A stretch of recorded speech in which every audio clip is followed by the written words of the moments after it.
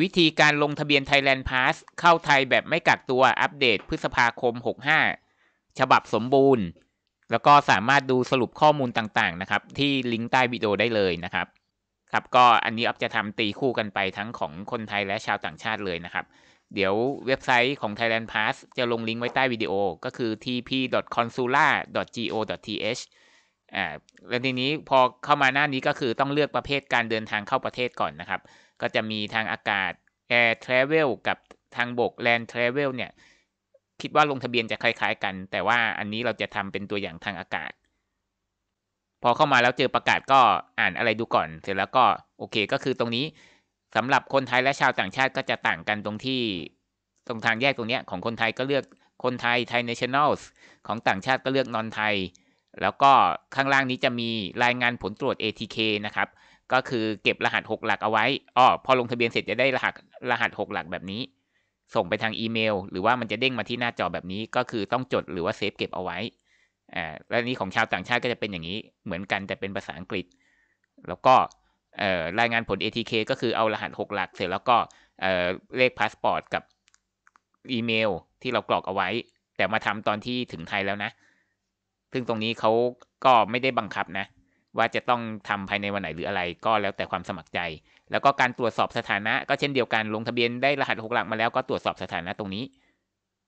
อ่าทีนี้ออฟจะเลือกนะครับทำตีคู่กันไปทั้งคู่เลยอ่าของถ้าของคนไทยก็จิ้มไปก็อ่าภาษาไทยนะครับ แล้วก็ภาษาของต่างชาติก็เป็นภาษาอังกฤษ แล้วก็ตรงนี้รูปแบบการเดินทางเข้าประเทศไทย ก็จะมีแค่ 2 อันเท่านั้น แนะนำเลยนะครับ ทั้งฉีดวัคซีนและไม่ฉีดวัคซีนก็ต้องเลือกอันนี้ no quarantine ไม่กักตัว ภาษาอังกฤษก็เช่นเดียวกันก็คือเลือกอันแรกเลย no quarantine นะยังมีภาษาไทยมาโผล่มาแจมให้ด้วย แต่ว่ารายละเอียดต่างๆ เป็นภาษาอังกฤษ ก็คือทุกประเทศนะครับ เข้าไทยได้แบบไม่กักตัวทั้งฉีดและไม่ฉีดวัคซีนแต่เงื่อนไขจะแตกต่างกันนะครับ ต้องอ่านดูให้ดีก่อนสำหรับคนที่ฉีดวัคซีนก็โอเค ก็จบแล้วมีใบรับรองฉีดวัคซีนอย่างเดียว แต่คนไม่ฉีดวัคซีนต้องดูรายละเอียดก่อน อันนี้เรามาที่ภาษาไทย อันเนี้ย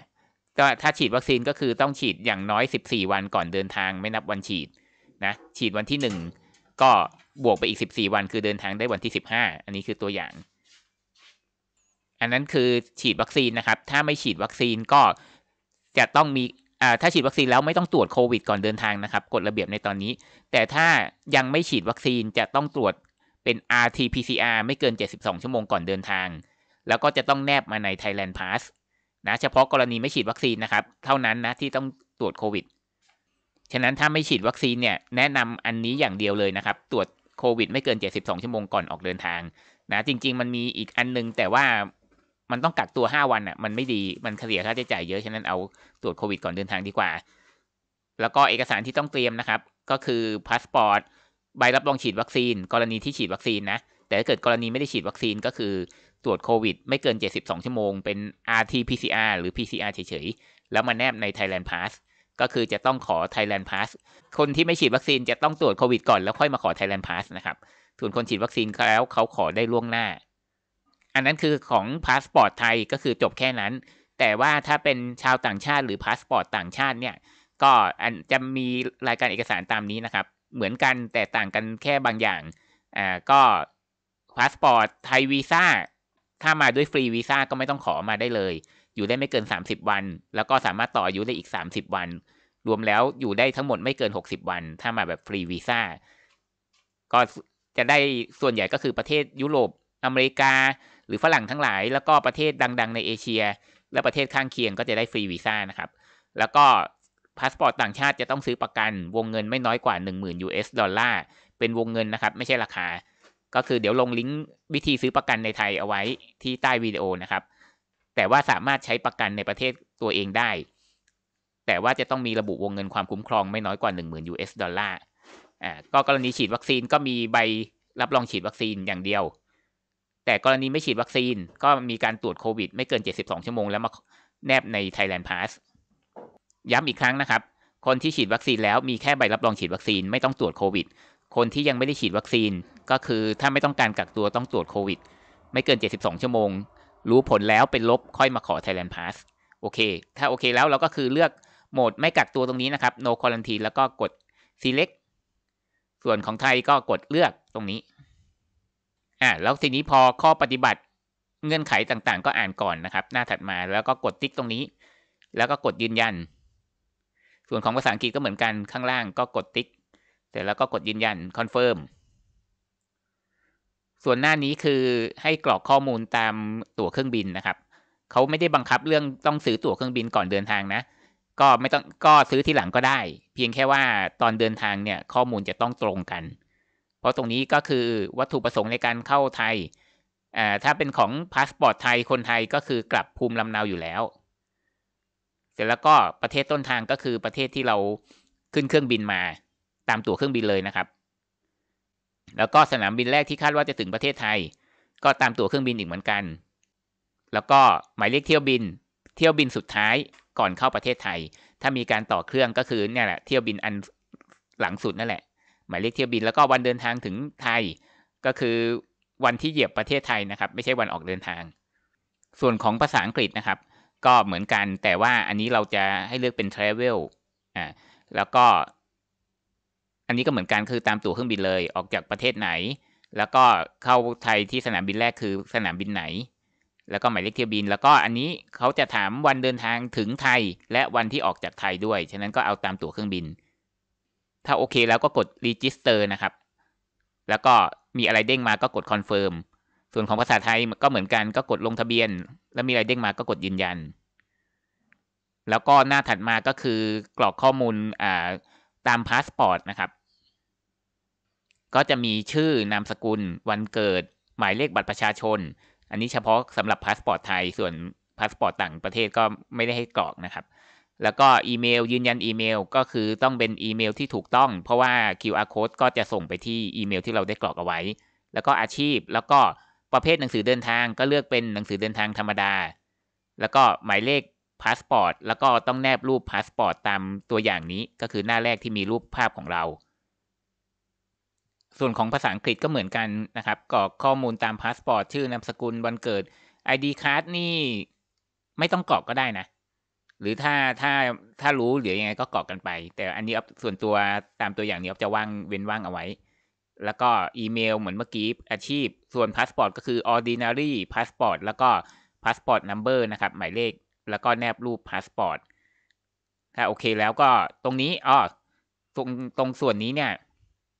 ข้างล่างเนี่ย ผู้ร่วมเดินทาง ถ้าเดินทางพร้อมกับเด็กอายุ0ถึง17 ปี สามารถกดปุ่มเพิ่มข้อมูลตรงนี้ได้ เฉพาะ0ถึง17 ปีนะครับ กรอกข้อมูลพร้อมกันกับผู้ปกครองได้ ก็กรอกเหมือนกันทุกอย่างเลยอ่าพอเสร็จแล้วก็คือกดต่อไปปุ่มสีน้ำเงินตรงนี้ ส่วนภาษาอังกฤษก็กด next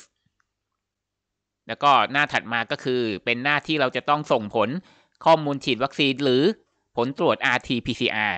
ฉะนั้นถ้าคนยังไม่ฉีดวัคซีนก็นี่แหละ มันจะต้องมีใบตรวจโควิดก่อนไง ไม่งั้นเราจะเอาอะไรมาส่งในนี้แหละใช่ไหม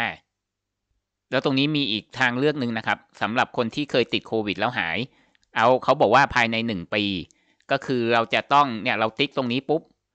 ก็จะโผล่มาว่าเราต้องกรอกข้อมูลตามใบรับรองแพทย์ ก็คือเราต้องมีใบรับรองแพทย์ คือเคยติดโควิดแล้วหายแล้ว มีใบรับรองแพทย์ และไปฉีดวัคซีนหลังจากที่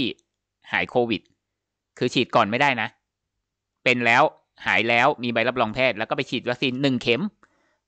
แล้วก็มากรอกตรงนี้ก็คือจะได้เทียบเท่ากับคนที่ไม่ได้ฉีดวัคซีน อ่าไม่งงนะครับ ติดโควิด มีใบรับรองแพทย์ แล้วก็ไปฉีดวัคซีนหลังจากที่ติดโควิดแล้ว แล้วก็ไม่เกินหนึ่งปีก็มาแนบตรงนี้ แล้วส่วนเดี๋ยวจะเริ่มจากคนที่ฉีดวัคซีนก่อนนะครับ ก็คือเราก็ใส่ข้อมูลฉีดวัคซีนเข็มหนึ่งเข็มเอ่อยี่ห้ออะไรวันฉีดวัคซีน แล้วก็อัปโหลดใบรับรองฉีดวัคซีนของเรา ถ้ามี QR code ก็แนบกันไปนะแต่ก็ไม่ค่อยซีเรียสเท่าไหร่แล้วแหละ เพราะเขาการันตีผลแล้วนะว่าจะได้ Thailand Pass ไม่เกิน 48 ชั่วโมงฉะนั้นแนบหรือไม่แนบ QR ก็ก็ไม่ค่อยต่างกันเท่าไหร่ ถ้ามีก็ทำกันไป แล้วก็ข้อมูลเข็มที่สอง แล้วก็เหมือนกัน เลือกยี่ห้อเลือกว่าเอ่อวันที่ฉีดแล้วก็แนบรูปกันไป บางคนก็มีใบรับรองฉีดวัคซีน EU ก็จะระบุแค่วันของเข็มสุดท้ายใช่ไหมครับ วันเข็มหนึ่งเข็มสองอะไรก็ก็กากาเอาละกัน ก็คือแค่ว่าวัคซีนต้องถูกต้องเท่านั้นเอง อันนั้นคือคนที่ฉีดวัคซีนนะครับ ส่วนคนที่ยังไม่ได้ฉีดวัคซีนตรงนี้เขาบอกไง ข้อมูลวัคซีนเข็มหนึ่งหรือ RT-PCR ตรงนี้แหละเราจะต้องเลือกนะครับ เลือกเป็น RT-PCR ครับดูตามหน้าจอนี้นะครับ เพราะว่าตรงนี้มัน เอ่อเขาเรียกอะไรมันมันแหว่งไปมันมันไม่เห็นก็คือเนี่ยออฟเลือกมาแล้ว ต้องเลือกเป็นเนี่ยตามเนี้ยที่ชี้เนี่ย RT-PCR ภายใน 72 ชั่วโมงก่อนออกเดินทาง แล้วก็วันที่เนี่ยต้องใส่วันไหนคือวันที่ได้รับผลทดสอบ RT-PCR ฉะนั้นคงต้องดูในใบตรวจนั่นแหละว่าเขาใส่วันที่ไว้วันไหน เสร็จแล้วก็ทุกอย่างก็คือมาแนบรูปในนี้นะครับ ใบตรวจโควิด RT-PCR ก็แนบรูปในนี้ หรือใบรับรองฉีดวัคซีนก็แนบรูปในนี้เหมือนกัน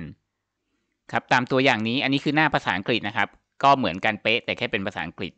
เอ่ออันนี้ภาษาอังกฤษออฟจะเลือกเป็น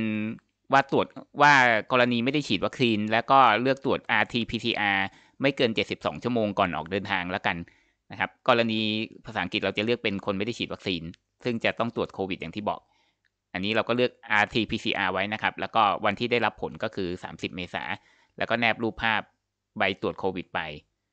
ตรงนี้ที่ติ๊กนี่ติ๊กหรือไม่ติ๊กก็ได้แล้วแต่ แล้วก็กด next ส่วนกรณีภาษาไทยออฟจะเลือกเป็นฉีดวัคซีนนะครับ เข็มหนึ่งก็เป็นแอสตราเข็มสองอันนี้คือเลือกเลือกตามตามความจริงอ่าแล้วก็ระบุวันฉีดเข็มสองคอมมินาตี้แล้วก็วันฉีด เอ้ยไม่ใช่วันตรวจอ๋อวันฉีดวันฉีดถูกแล้วถูกแล้ว อ่าแล้วก็แนบรูปภาพไปเข็มหนึ่งเข็มสองถ้ามันอยู่ในใบเดียวกันนะครับ ทั้งเข็มหนึ่งเข็มสองก็แนบใบเดิมนั่นแหละ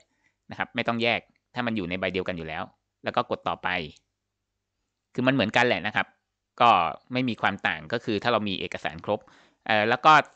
หน้าถัดมาคือข้อมูลที่พัก ซึ่งตรงนี้ไม่ได้ต้องแนบใบจองโรงแรมใด ๆ แล้ว ตรงนี้จะให้เลือกเป็นที่พักในประเทศไทยหรือ Agoda ซึ่ง Agoda นี้แนะนำว่าไม่ต้องไปสนใจ อย่างที่บอกนะครับ ถ้าเกิดว่าเราฉีดวัคซีนแล้ว หรือถ้าไม่ได้ฉีดวัคซีนแต่ยอมตรวจโควิดไม่เกิน 72 ชั่วโมง แล้วมาขอส่งผลใน Thailand Pass เนี่ย เราไม่ต้องกักตัวอยู่แล้ว ฉะนั้น Agoda นี้ไม่เกี่ยว อันนั้นสำหรับคนที่ไม่รู้เรื่องอะไรเลย แล้วก็เข้าไทยแบบไม่เอ่อไม่ฉีดวัคซีนด้วย แล้วก็ไม่ตรวจก่อนเดินทางด้วย อันนั้นเขาจะต้องส่งที่พัก ก็คือจะเป็น Agoda นี้ ฉะนั้นย้ำว่าเลือกที่พักในประเทศไทยนะครับส่วนภาษาอังกฤษก็นี่ไง address in Thailand ก็เหมือนกัน แล้วที่เหลือก็คือเลือกจังหวัดนะตามในนี้ก็มีให้เลือกเยอะแล้วไม่รู้ครบ ทุกจังหวัดหรือเปล่าก็น่าจะครบนะ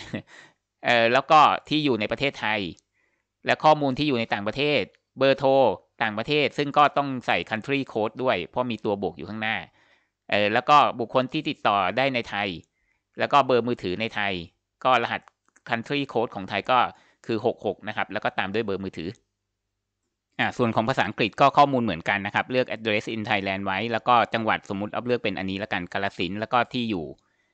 ในประเทศไทย แล้วก็อันนี้ต่อมาคือที่อยู่ต่างประเทศ เบอร์โทรต่างประเทศ แล้วก็บุคคลติดต่อ แล้วก็ที่อยู่ในไทยแล้วก็เบอร์ของไทยเนี่ย country code 66 เสร็จแล้วก็กด next ส่วนของภาษาไทยก็เลือกแพร่ไว้อ่าแสดงว่ามันเลือกได้เกือบเกือบหมดแล้วแหละ หรืออาจจะเลือกอ่าอาจจะมีครบแล้วก็ได้ แล้วก็ตามที่บอกเมื่อกี้ที่อยู่ต่างประเทศ บุคคลติดต่อในไทย เบอร์มือถือของไทยแล้วก็กดต่อไป แล้วนี่คือหน้าสุดท้ายแล้ว ถ้าเกิดเป็นพาสปอร์ตไทยนะครับ ก็คือจบแล้วตรงนี้ ประเทศที่ท่านเคยพำนักในช่วง 14 วันก่อนเข้าไทย ก็จะเลือกหรือไม่เลือกก็ได้แล้วแต่ไม่ได้ซีเรียสแล้วก็เอกสารเพิ่มเติม อันนี้ ไม่ได้ไม่ได้บังคับ ก็แค่เฉพาะว่าบางคนเนี่ยใบฉีดวัคซีนก็คือนามสกุลอันอาจจะไม่ตรงกับพาสปอร์ตก็แนบหลักฐานการเปลี่ยนชื่อกันไปก็แค่นั้นเอง หรือมีอะไรอยากจะแนบเพิ่มก็มาแนบในนี้ ซึ่งไม่ได้มีผลอะไรเลยนะครับ จริง ๆ ยกเว้นแต่เรื่องเมื่อที่บอกเมื่อกี้เท่านั้นเอง ก็มาแนบเพิ่มเติมในนี้ ส่วนของภาษาอังกฤษอันนี้แหละจะมีเพิ่มเติม ก็คือพาสปอร์ตต่างชาติหรือชาวต่างชาติเนี่ยจะต้องส่งประกัน อ่าเดี๋ยวภาษาอังกฤษเดี๋ยวกลับมาต่อทีหลัง เพราะว่าอันนี้คือเหมือนกับเปิดทำพร้อมกันไม่ได้นะครับ เหมือนเป็นอันนี้มันของเหมือนของคนไทยแต่แค่เป็นภาษาอังกฤษเท่านั้นเองเดี๋ยวกลับมาใหม่ เอาของภาษาไทยก่อนก็คือ ถ้าเรียบร้อยแล้วก็กดต่อไป เสร็จแล้วก็เป็นส่วนให้ทบทวนข้อมูลแล้ว ที่เรากรอกมาทบทวนเสร็จแล้วปุ๊บก็กดบันทึกข้อมูล เรียบร้อย จะขึ้น นี่นะครับ รหัสหกหลักที่เราจะได้มาแล้วก็เครื่องหมายติ๊กถูก วงกลมสีเขียวตรงนี้ ก็ถ้าไม่ได้จดก็ไปดูในอีเมลก็ได้ หรือจดเอาไว้ อ่าอันนี้เรากลับมาใหม่ที่หน้าของพาสปอร์ตต่างชาตินะครับ สังเกตว่าหน้าตาจะไม่เหมือนเมื่อกี้แหละ เพราะว่าเอ่ออันนี้อย่างที่บอกคือคือเมื่อกี้ทำพร้อมกันแล้ว แล้วมันก็เหมือนของคนไทยแต่แค่เป็นภาษาอังกฤษเท่านั้นเอง แล้วเราก็ไปลงทะเบียนมาใหม่ละ ตรงนี้ก็คือให้กรอกก็คือประประกันนะครับ insurance policy number นะครับ ก็หมายเลขกรมธรรม์ก็ตามในใบประกันของเราเลย แล้วก็วันที่เริ่มต้นประกันก็ตามในใบประกันอีก แล้วก็แนบรูปภาพประกัน แล้วก็ติ๊กตรงนี้ด้วยนะครับ ว่ารับรองว่าวงเงินตรงนี้ไม่น้อยกว่า 10,000 US ดอลลาร์แน่นอน คือใบประกันที่เราแนบเนี่ยก็คือใช้ของต่างประเทศได้ ใช้ประกันของต่างชาติได้ แต่ว่าจะต้องมีระบุวงเงินคุ้มครอง ตัวเลขไม่น้อยกว่า 10,000 US ดอลลาร์ก็คือ medical expense ตรงนี้เลยนะครับ แล้วก็ ที่เหลือก็เหมือนกัน ประเทศที่เคยไปในช่วง 14 วันที่ผ่านมา